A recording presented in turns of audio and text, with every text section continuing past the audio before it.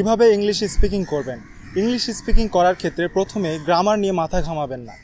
আমরা বেসিক যে কমিউনিকেশন বা যোগাযোগ করি, সাধারণ কথোপকথনের জন্য মোটামুটি এক হাজার শব্দ জানলেই চলে। এবং এক হাজার শব্দ জানার পরে আমরা যে ইংরেজির বাক্য গঠনের যে সাধারণ স্ট্রাকচার এটা মোটামুটি আমরা জানি। যেমন প্রথমে সাবজেক্ট বসে, তারপরে ভার বসে, তারপরে এক্সটেনশন বসে। তো আমরা মোটামুটি এক হাজার শব্দ যদি জানি তাহলে চলবে। এবং এরপরে যে ব্যাপারটা আমাদের মূল সমস্যা, সেটা হচ্ছে ভয় বা লজ্জা। এবং ভয়, লজ্জার কারণে আমরা আসলে মানুষের সাথে ইংলিশ স্পিকিং করি না, আমরা পার্টনার খুঁজে পাই না। এই কারণে আমাদের যে প্রমোশন হয় না নেটওয়ার্কিং বাড়ে না এবং আমরা অবশেষে সে আগের মতো থেকে যাই। তো এই সমস্যাগুলো কাটিয়ে ওঠার জন্য বেশ কিছু পরামর্শ রয়েছে। যেমন প্রথমে যে কাজটি করতে পারেন, সেটা হচ্ছে যে দিনের একটা সময়, এমনকি যখন আপনি টয়লেটে থাকেন, সে সময়টা হইতে পারে অথবা একাকী থাকেন, তখন এক মাস ধরে এক মিনিটের মতো সময় ধরে আপনি ইংরেজিতে স্পিকিং করেন। এক মিনিট, এক মাস ধরে ইংলিশতে স্পিকিং করেন। এবং একটা তিন চারজনের একটা বন্ধুর গ্রুপ বানান, যে গ্রুপে আপনারা সবাই ইংরেজিতে কথা বলবেন, বাংলাতে কথা বলা সেখানে হারাম। তো এরকম দুই মাস চালিয়ে যাবেন। ইংলিশে পডকাস্ট শুনতে পারেন। পডকাস্ট শুনলে আপনার যে ইংলিশ স্পিকিং লিসেনিং যে কোয়ালিটি সেটা ভালো হবে এবং এর ফলে আপনার স্পিকিংটাও ভালো হবে। সবচেয়ে গুরুত্বপূর্ণ বিষয় হলো যে এগুলো চালিয়ে যাওয়া। অর্থাৎ আপনি যদি প্রতিদিন এক মিনিট করে কথা বলতে পারেন, প্রথম এক মাস, তারপরে এই সময়টুকু বাড়ালেন। তো এখানে মূল গুরুত্বপূর্ণ ব্যাপার হচ্ছে যে আপনাকে নিয়মিত কাজটি চালিয়ে যেতে হবে। আর এই কাজগুলো করার সময় কখনো আপনার মনে হবে যে, না, আজকে করব না, ভালো লাগছে না। সেক্ষেত্রে আপনাকে নিজেকে একটু জোর করতে হবে, একটু শাস্তি দিতে হবে। যেমন এক মিনিট এক মিনিট যদিও মনে হয় যে, এক মিনিটও করতে ইচ্ছা করছে না, তাহলে সেদিন একেবারে বাদ না দিয়ে কমপক্ষে দু, কমপক্ষে বিশ সেকেন্ড, দশ সেকেন্ড অন্তত পক্ষে দুটো বাক্য অ্যাটলিস্ট করতে হবে। এভাবে এই অভ্যাসটা যদি আপনি চালিয়ে যান, তাহলে আপনি এক, খুব তাড়াতাড়ি ইংলিশে স্পিকিংয়ে অনেক দক্ষ হয়ে উঠতে পারবেন। আমাদের যাদের বয়স ২০ বছরের আশেপাশে, তাদের যে কাজগুলো অবশ্যই করা উচিত বা যে কাজগুলো এখন না করলে হয়তো আপনাকে কাল পস্তানো লাগতে পারে।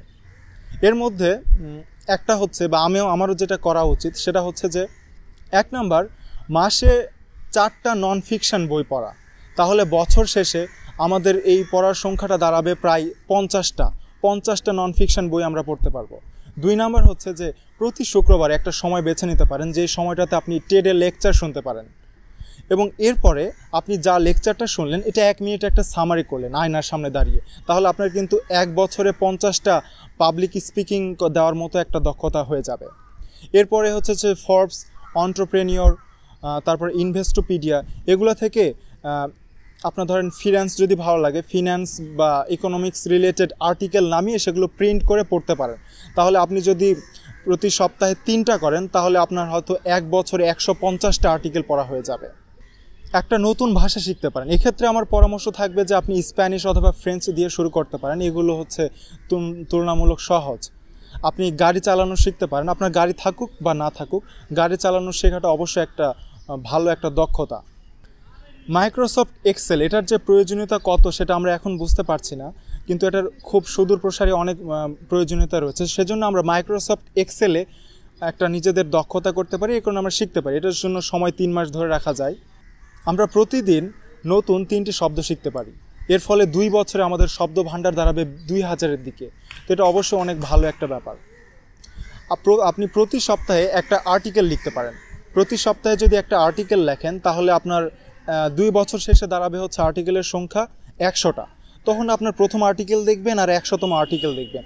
দেখবেন যে এর মধ্যে কী আকাশ পাতাল তফাত আপনার লেখার স্টাইল বা এগুলোতে কন্টেন্টের মধ্যে যে পার্থক্য। আর এতগুলো আর্টিকেল যেটা আপনার এক একটা করে রিসোর্স তৈরি হবে।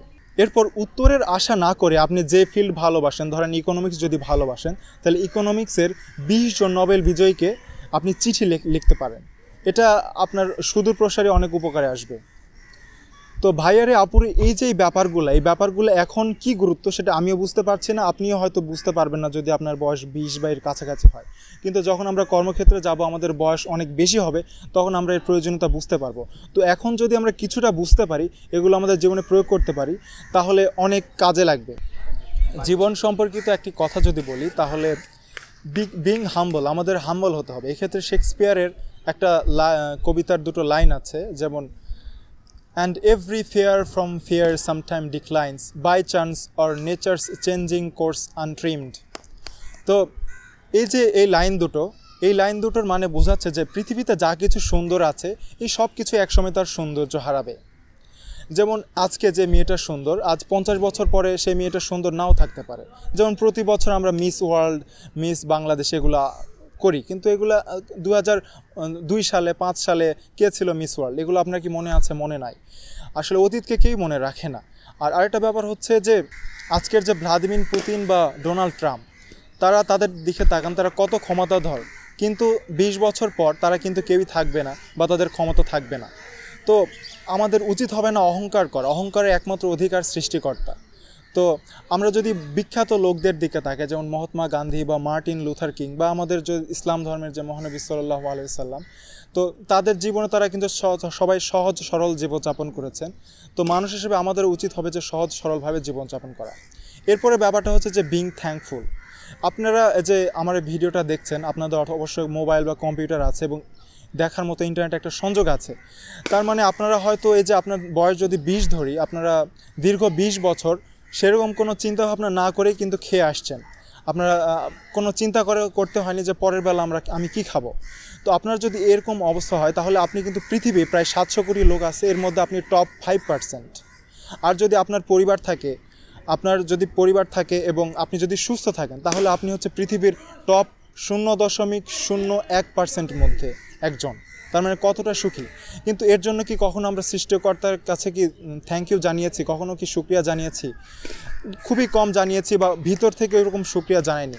কিন্তু আমরা অথচ কাউকে যদি কোনো উপকার করি এবং বিনিময়ে যদি ধন্যবাদ না পাই, তাহলে আমাদের মন খারাপ হয়ে যায়, মাথা গরম হয়ে যায়। তো আসলে আমাদের এই ব্যাপারগুলো ভেবে দেখা উচিত এবং মানুষকে ধন্যবাদ দেওয়া উচিত এবং সৃষ্টিকর্তার প্রতি কৃতজ্ঞ থাকা উচিত। এতক্ষণ আমি যে কথাগুলো বললাম, এই সুন্দর সুন্দর কথাগুলো বললাম, এগুলো কিন্তু আমার নিজের কথা না। এগুলো জাস্ট আমি নিজের মুখের ভাষায় বলেছি। এ সব কিছু বিষয় আমি শিখেছি যে বইটা থেকে, সেটা হচ্ছে এই বই। এই যে ভাইরে, আপুরে, সাব্বির আহসানের লেখা। সাব্বির আহসানের পরিচয় যদি দেই, তিনি ক্যাডেট কলেজে পড়াশোনা করেছেন, এরপরে বুয়েটে পড়াশোনা করেছেন, তারপরে ঢাকা বিশ্ববিদ্যালয়ে আইবিএ পড়াশোনা করেছেন, এরপরে সেনাবাহিনীতে ছিলেন, তিনি গালফ ওয়ারে অংশগ্রহণ করেছিলেন এবং বিশ্ব ব্যাংকের একটা প্রজেক্টে কাজ করেছেন। তো বলা যেতে পারে তিনি একজন সফল ও প্রতিষ্ঠিত ব্যক্তি। তো তিনি তার দীর্ঘ অভিজ্ঞতা, পঞ্চাশ বছর মনে হয় তার বয়স বা বেশি, তো এই অভিজ্ঞতায় তিনি এই বইটা লিখেছেন। আসলে এই বইটা হচ্ছে তার বিভিন্ন ফেসবুক স্ট্যাটাসের একটা সংকলন। তো আমি এই বইটা পড়েছি, প্রায় পুরোটাই পড়েছি এবং অসাধারণ ছিল। যারা বিশ্ব বিশেষ করে স্কুল, কলেজ বা বিশ্ববিদ্যালয়ে পড়েন, তাদের এই যে বই, লেখাপড়া এবং জীবন সংক্রান্ত বিভিন্ন গুরুত্বপূর্ণ একটা গাইডলাইনের হচ্ছে একটা সম্মেলন হচ্ছে এই বই। তো আমি বলব যে আপনারা অবশ্যই বইটা পড়ুন। বইটার দাম গায়ে লেখা আছে দুইশো সত্তর টাকা। বাংলাদেশে সাধারণত পঁচিশ পার্সেন্ট বা এর বেশি ছাড় দেওয়া হয়। তো আপনি, আমি দুশো পাঁচ টাকাতে পেয়ে গিয়েছিলাম। আপনারা এর কমেও পেয়ে যেতে পারেন। তো আমার মনে হয় যে আপনারা অবশ্যই বইটা পড়া উচিত। বইটা এবারে বইমেলায় বেরিয়েছে। তো অনেক কিছু আমি শিখতে পেরেছি এবং আপনারাও শিখতে পেরে- পারবেন আশা করছি। তো আমি বলতে চাই যে বইটা কিনুন, পড়ুন। না হলেও তার ফেসবুক স্ট্যাটাসগুলো পড়ুন। আর সর্বশেষে আপনাদের ধন্যবাদ জানাতে চাই। একটা দীর্ঘ ভিডিও ছিল। আপনি হয়তো এই সময় অন্য কাজও করতে পারতেন। তো আমার ভিডিও যে দেখছেন এই কারণে আমি আপনার প্রতি কৃতজ্ঞ। তো সবাই ভালো থাকবেন। ইনশাল্লাহ আগামী ভিডিওতে দেখা হবে।